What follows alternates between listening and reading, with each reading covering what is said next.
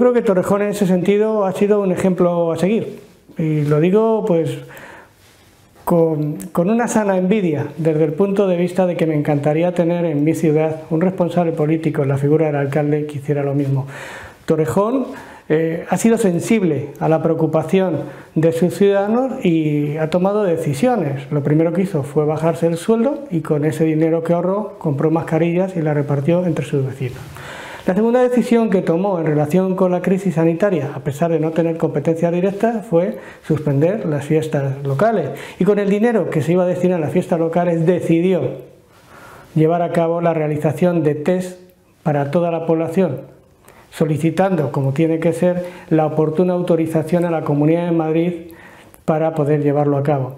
Por lo tanto, estamos ante dos formas de actuar absolutamente diferentes, ante dos actitudes diferentes, ante una situación de necesidad que demandan los vecinos. Yo creo que en ese sentido los vecinos de Torrejón están de enhorabuena por tener al frente un alcalde como Ignacio Vázquez y un gobierno del Partido Popular.